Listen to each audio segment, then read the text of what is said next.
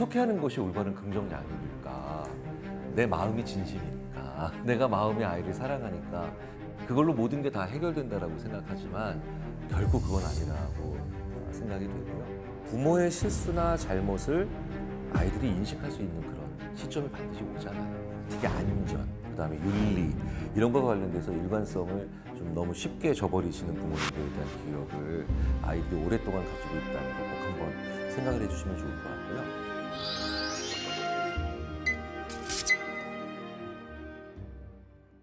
자 이제 다시 또 이렇게 이야기를 나눌 수 네. 있는 어, 시간이 왔는데요. 그 어린 시기에 부모님과 가지게 되는 경험이 사실 인생 전체에 정말 많은 영향을 미친다. 어, 우리가 이런 얘기들을 나누고 또 배웠는데요.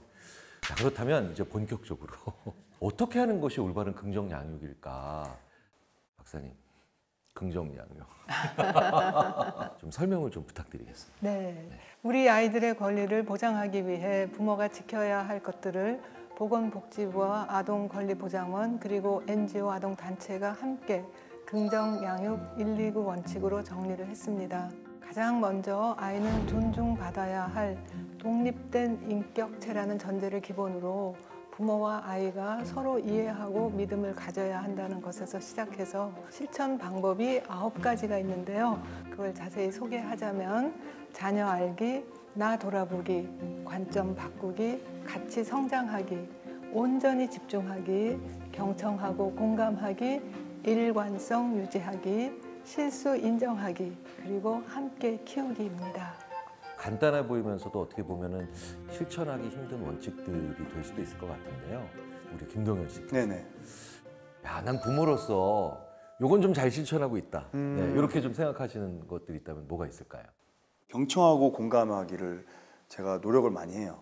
자고 있을 때 어, 아이가 저한테 와서 깨우는 걸 되게 좀 감사하게 생각해요. 아빠가 자고 있는데 저한테 와서 깨운다는 거는 아빠랑 이야기 많이 하고 싶고 아빠를 사랑하는 거구나 되게 감사하게 생각해서 진짜 피곤해서 자고 싶어도 와이프한테 살짝 부탁할 때 있어요. 나 지금 너무 피곤해 좀 자고 싶어라고 하지만 그래도 아이들이 엄마가 없을 때 들어와서 깨우면 웃으면서 어 그래 그래 하면서 일어나요. 그건 제가 노력하는 부분이에요. 정말로. 어, 함께 키우기는 어떻게 생각하세요? 함께 키우기도 네네네. 제가 제일 많이 하는 거죠. 오. 저는 알고리즘에 육아가 엄청 많이 떠요. 아, 우리 아이들과 맞는 게 뭐지? 계속 비교해 보면서 정말 많이 봅니다. 우리는 항상 이러잖아요. 내 마음이 진심이니까. 내가 마음의 아이를 사랑하니까 그걸로 모든 게 다 해결된다라고 생각하지만 결국 그건 아니라고 아, 생각이 되고요. 정말 그런 면에서 제가 봤을 때 김동현 씨는 아주 좋은 그런 부모이시지만 더 좋은 부모가 되실 거라고 저는 믿어 의심치 않는데요. 긍정 양육의 실천 단계 첫 번째 단계. 아, 그 자녀 알기. 아, 자녀 알기. 김동현 씨는 이미 이 부분에 대해서는 아주 잘 알고 계신 것 같아요. 관찰하고 파악하고 미리 결론 내리지 않고 아, 느껴보려고 하는 건 너무 좋은 거잖아요. 그런데 중요한 건 긍정 양육의 두 번째인 것 같아요. 나 돌아보기. 어, 잠깐만 이게 말씀드리면서도 이게 자꾸 찔, 찔리지. 여기서 나는 부모로서의 자신을 얘기하는 거겠죠? 부모도 하나의 인간이고 부모도 과거가 있고 현재와 미래가 있는데요. 그리고 부모도 기질도 있어요. 예. 음. 그리고 자라온 환경 이런 것도 정말 많은 영향을 미치고 우리 큰언니들은 부모님들이 20, 30대 키웠고요. 저는 이제 40, 50대. 그 차이가 굉장히 커요. 어, 그 사이에 부모님도 나이가 들어가면서 네. 또 달라지는 것이 있고 그런 것들이 이제 사실은 그 부모가 자기 자신을 아는 거에도 굉장히 도움이 되죠. 근데 문제는 뭐냐 하면 이렇게 김동현님 같이 아무리 책을 많이 읽고 공부했다 하더라도 아이가 하나만 있으면 사실은 그 차이를 알기가 쉽지가 않아요. 근데 이렇게 세 명이 있다 보니까 어, 큰아이랑 둘째는 너무 다르네? 셋째는 또 다르네? 이런 것을 체득을 할 수가 있는데요. 요즘은 아이를 하나 주로 나니까 실제로 그걸 실천하기가 좀 어려운데 참 잘하고 계시는 것 같아요. 박사님 관점 바꾸기도 좀 설명을 좀 부탁드릴게요. 관점 바꾸기가 사실은 참 힘들어요. 이게 말은 네. 관점 바꾸기 네. 굉장히 직관적으로 이해가 되는 것 같기도 하지만 이 관점 바꾸는 것처럼 어려운 일이 없잖아요. 제일 많은 게 어른들끼리 싸움도 관점을 바꿔주지 못하기 때문에 내 입장만 주장하게 되고 설득하려고 하다 보면 네. 서로 그렇게 싸우게 되는데 특히 이제 아이의 관점에서 우리가 본다는 게 어떤 거냐 하면 아이가 갑자기 버럭 소리를 지르고 화를 낸다고 할 때 왜 소리 지르니? 왜 왜, 화를? 내니? 음. 예, 이렇게 행동을 야단치려고 하는데 그거는 어른의 관점에서 보는 거예요. 쟤는 지금 나쁜 행동을 하고 있어라든지 저 행동은 고쳐줘야 돼 어른의 관점에서 보는 건데요. 아이의 관점에서 바라본다는 거는 도대체 뭐 때문에 화가 났을까 먼저 관심을 가지고 물어봐 주는 거죠. 어떤 일이 있었니? 얘기해 줄 수 있을까? 그러면 동생이 내가 그린 로보컷 그림을 찢었어요. 아이의 입장에서는 자기가 열심히 그린 거를 동생이 찢었으면 화가 날 법하잖아요. 그럼 아 그랬구나. 정말 화가 날 만도 하네. 이렇게 아이의 입장에서 그 상황을 한번 같이 바라봐 주는 거. 근데 그 공감이 빠진 상태에서 야단만 치면 내가 나쁜 애인가? 나아가서는 부모는 날 싫어하나? 아니면 동생 편인가? 이런 생각을 하게 되죠. 자녀가 세 명이나 있는 네네. 김동현 씨 쪽에서 가정에서 이런 거를 아주 많이 경험하실 것 같아요. 그렇죠. 예. 그렇죠? 뭐 다행인지는 모르겠지만 아이들끼리 잘 지내는 편이에요. 예, 우리 첫째가 또 막 동생한테 막 왜 뺏어 뭐 내 거야 뺏지 마 이렇게 했을 때 이쪽에서도 같이 내 거야 이래야 되는데 오빠 달라면 주고 욕심 안 내고 저는 그런 거 보면서 물론 욕심도 중요하지만 결국에는 미움을 받잖아요. 그게 좀 마음 아플 것 같아서 양보애들 가르쳐야 되겠다 이렇게 생각을 많이 하죠. 그 생각과 고민을 계속해서 해 나가신다는 것이 가장 중요한 게 아닐까 싶어요. 네 번째가 이제 그 같이 성장하기잖아요. 아, 그쵸. 네, 이건 예. 정말 그렇게 아이를 사랑하고 아이를 위해 헌신적이시지만 정말 놓치기 쉬운 부분인 것 같습니다. 왜냐하면 아이 입장에서 근데 나는 이렇게 성장을 계속 해 나가고 있고 그것을 이렇게 기대하고 계신데 왜 우리 부모님은 그대로지?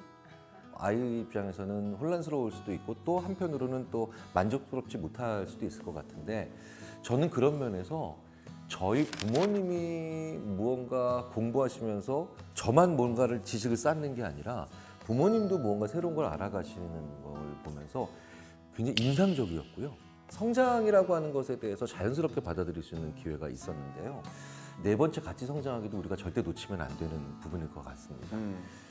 다섯 번째가요. 음, 제가 제일 못하는 건데요.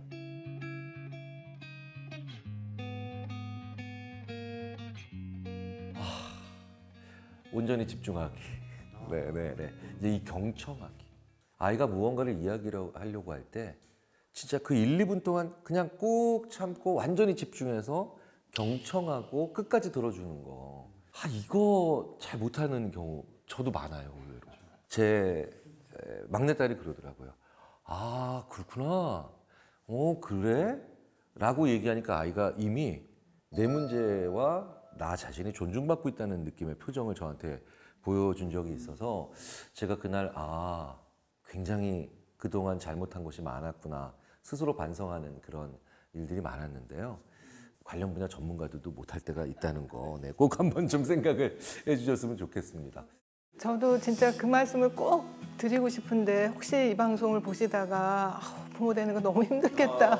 저 어떻게 다 하지? 그런 걱정이 드실까 봐 걱정이 되는데요.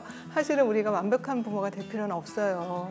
부족한 대로 배워가면서 또 실수도 하고 시행착오도 하면서 우리도 성장이 되는 거죠. 인간으로서. 그리고 사실은 우리가 제일 많이 배울 때가 잘못했을 때, 실수했을 때거든요. 근데 이제 경청 공감이 사실 어렵긴 해요, 사실은. 근데 그거는요, 수영 배우는 것처럼 좀 배우면 돼요. 그리고 경청 공감하는 거를 진짜 아이들하고 해보면 아이들이 더 빨리 배워요. 수영도 아이들이 왜더 빨리 배우잖아요. 어, 그렇죠. 래서난 이것을 좀 우리나라에서 좀 교과 과정에 넣었으면 좋겠어요. 어, 맞아요. 지금 그렇게 하고 있는 나라들이 있어요. 네, 네, 예, 미국에서도 그렇고 일본도 그렇습니다. 아이들에게 서로 잘 경청하고 공감하는 거 유치원부터 가르쳐요. 근데 말하기는 아이들이 가르치는데, 그렇죠? 글쎄 말이야 읽기 쓰기. 뭐 세마기 피아노 별거 다 네. 가르치면서 그런 걸 안 하는데요. 근데 이제 사실은 여기서 굉장히 중요한 거는 그래도 어떤 원칙에 있어서는 일관성이 있어야 돼요. 좋을 때는 아 괜찮아 괜찮아 이러다가 기분 나쁘면은 이제 아이들한테 야단치고 상황 상황마다 다르면 아이들은 굉장히 혼란스럽거든요. 그래서 그 일관성을 아이가 아, 이거는 정말 안 되는 거구나 예, 그런 걸 알 수 있게끔 부모도 어떤 원칙 규칙을 갖고 있는 것은 굉장히 필요하죠. 엄마와 아빠도 일관성이 되게. 중요한 것 같아요. 그렇죠. 아이들 하기 싫은 거에 대해서 제일 힘든 게 밤마다 무조건 양치를 시키는 거, 차에 앉으면 카시트 안 치는 거. 이게 되게 쉬워 보이지만 가끔은 정신없고 바쁘고 막 애- 아이가 뗐을 때는 와이프가 급하니까 막 안고 탈 때가 있잖아요. 그걸 잠깐이라도 하면 그그 다음이 너무 힘들어지니까 양치해야 되는데 귀찮으니까 각을 한 번 하고 재고 이래버리면 다음 야- 육아하는 사람이 너무 힘들 때가 있더라고요. 그래서 무조건 우리가 서로 통일해야 된다. 부모끼리 통일하는 것도 되게 중요한 것 같아요. 어, 굉장히 중요하죠. 아주 가까운 친구 중에 한 명은 시간 없다고 무단횡단 같이 자기를 데리고 가셨던 부모님에 대한 기억을 지금도 가지고 있대요. 그때 당시의 상황이나 아니면 기분에 의해서 특히 안전, 그다음에 윤리 이런 거와 관련돼서 일관성을 좀 너무 쉽게 저버리시는 부모님들에 대한 기억을 아이들이 오랫동안 가지고 있다는 거 꼭 한번 생각을 해주시면 좋을 것 같고요. 자율성 얘기를 많이 또 우리가 하잖아요. 근데 이게 참 자율성에 고민이 많이 되는 게 이게 자율성을 너무 많이 인정을 하면 이제 선을 넘는 경우, 특히 이제 절대 넘으면 안 되는 그런 제한선을 넘는 경우들이 많은데 요것과 관련돼서 좀 도움이 될 만한 조언을 해주신다면 어떤 게 있을까요? 한계를 정해주는 건 정말 필요하죠. 어렵지만 꼭 해줘야 되는 일인데 그러나 그 한계가 그때그때 상황마다 다르면 아이들도 거- 혼란스럽고 어른도 되게 힘들거든요. 그래서 한계는 분명하고 간단해야 된다. 첫째로는 자기한테 해로운 건안 된다. 술, 담배 안 돼. 너한테 해로우니까 이제 그런 식으로 그 나이에 따라서 내용은 달라질 수 있지만 원칙은 똑같은 거죠. 그다음에 두 번째가 남에게 해로운 것도 안 된다. 어, 흉보고 뒷담하고 아니면 남의 물건 뺏고 이런 것들은 남에게 해로운 거기 때문에 안 된다. 예, 요 원칙만 딱 확실하면 사실 사회생활이 훨씬 더 안전하게 되겠죠. 제일 중요한 거네요. 그러니까 나의 안전과 생존 그리고 타인의 안전과 그렇죠. 생존. 예. 자 이제 다음 원칙이 또 있습니다. 야 이게 이제 예전엔 제가 잘 안 됐는데 요즘은 좀 됩니다. 실수. 네, 이제 실수 인정하기. 이제 어느 정도 지나면 부모의 실수나 잘못을 아이들이 인식할 수 있는 그런 시점이 반드시 오잖아요. 그렇죠. 근데 끝까지 부모가 자기의 실수나 잘못을 인정하지 않는 데서 성인기가 돼서도 굉장히 좀 어, 왜곡되거나 불편한 그런 관계가 이- 어, 유지되는 것이 굉장히 많은 것 같아요. 그렇죠. 네. 아이들은 이제 어른을 보면서 사실 어른의 말을 듣는 게 아니라 행동을 보면서 아이들이 그냥 흡수를 하거든요. 근데 분명히 이제 부모가 실수를 했는데 모른 척하고 아니면 음, 오히려 화를 척하고. 낸다. 네. 예, 그러면 아이는 그대로 배웁니다. 자기가 실수를 했을 때 모른 척하거나 남을 탓하거나 아니면은 뭐 변명을 만든다든지 이런 식으로 그러니까 부모의 행동을 통해서 아이들이 그 행동을 똑같이 따라할 수 있다는 거죠. 근데 부모가 자기 실수를 인정했을 때 굉장히 놀라운 일이 벌어집니다. 아이들이 아 사람은 실수를 하는구나. 음, 그리고 실수를 했을 때는 먼저 사과를 하면 되는구나 이렇게 배웁니다. 그것만큼 부모의 모습을 자녀가 정말 있는 그대로 배우는 것도 많지 않은 것 같아요, 진짜. 이제 하나가 남았네요, 박사님. 네. 뭔가요? 저는 어, 양심상 이제 박사님한테 빨리 이제 설명을 부탁드리는 게 제가 여기 여기서 조금 이제 조금 이제 네. 부족한 부분이 많아서 마지막은 함께 키우기인데요. 이거는 정말 정말 필요합니다. 왜 그런지 말씀드릴게요. 아이 하나가 만 6세까지 제대로 정서 인지 사회 신체 발달을 하기 위해서 어른이 몇 명이 필요한가 하고 봤더니 최소한 네명이 필요하답니다. 그러니까 먹여주고 재워주고 씻겨주고 하는 게 필요하지만 또 돈도 벌어와야 되고 공부도 가르쳐 줘야 되고 놀아도 줘야 되고 이러니까 어른 넷이 필요한데 지금은 핵가족이 되면서 두 명이 정말 전심전력해도 아이들이 받을 수 있는 건 2분의 1밖에 안 돼요. 그런 말 있잖아요. 아이 하나 키우는데 온 마을이 필요하다는 게 그냥 그게 그냥 하는 말이 아니라 공동체 안에서 아이가 같이 키우고 또 배우고 나누고 그렇게 하면 참 어, 정말 건강한 행복한 아이들로 잘 자랄 수 있을 것 같습니다. 야, 또 이야기를 나누다 보니까 그 어렵게만 보였던 아홉 개의 원칙을 또 하나하나씩 보니까 또 우리가 노력하면 충분히 해낼 수 있는 그런 원칙들이 아닌가 싶기도 한데요. 이 아동권리보장원의 긍정양육 129 원칙. 이 기본 전제가 자녀는 마땅히 존중받아야 할 인격체. 바로 이 부분인 것 같은데요. 자, 이제 좀 두 분 소감을 한 번씩 아, 좀 들어보고 싶은데 네. 박사님 오늘 이야기 나눈 또 소감이 좀 어떠셨나요? 어, 저도 많이 배웠는데요. 우리 옛날에 학교 다닐 때 공부 잘하면 이렇게 우등상 이런 거 주잖아요. 네, 네. 김동현님한테 모범 부모상을 좀 드리고 싶을 정도로 진짜 전적으로 동감. 예, 진짜 그리고 또 그런 분들이 많이 나와서 나와서 다른 분들에게도 귀감이 되고 모범이 되고 그러면 정말 좋겠다 그런 생각이 들어요. 정말 많이 배웠습니다. 아, 고맙습니다. 네. 네. 수상 소감. 아, 예. 아, 이 공을 와이프에게 돌리겠습니다. 근데 진짜 저도 그렇게 생각해요. 저랑 와이프랑 이 아이가 커서 친구들과 사회 나가기 전까지 지금 온전하게 부모밖에 없으니까 어, 시간을 보내려고 하고 있고 소중하게 생각을 하려고 있는데 오늘 또 이렇게 놓칠 뻔한 거를 또 놓치지 않, 어, 않게 된 것 같아서 너무 감사하게 생각하고 있고 저 오늘 정말 큰 걸 배웠습니다. 가장 문제가 심각한 부모는 나는 아무 문제 없다라고 맞아요. 생각하는 부모라는 말이 있지 않습니까? 그래서 많이 배웠고 나의 어, 부족한 부분을 많이 느꼈다라고 이- 말씀하시는 김동현 씨가 정말 좋은 부모의 모습을 또 보여주시는 게 아닌가 싶기도 합니다. 어, 이 내용들이 또 어, 긍정양육 129 원칙으로 아동권리보장원 홈페이지에도 잘 정리가 돼 있고요. 또 책자들도 어, 다양하게 또 준비가 되어 있으니까 한번 확인해 보시면서 실천을 위한 네, 그런 길을 만들어 보시는 것도 좋을 것 같습니다.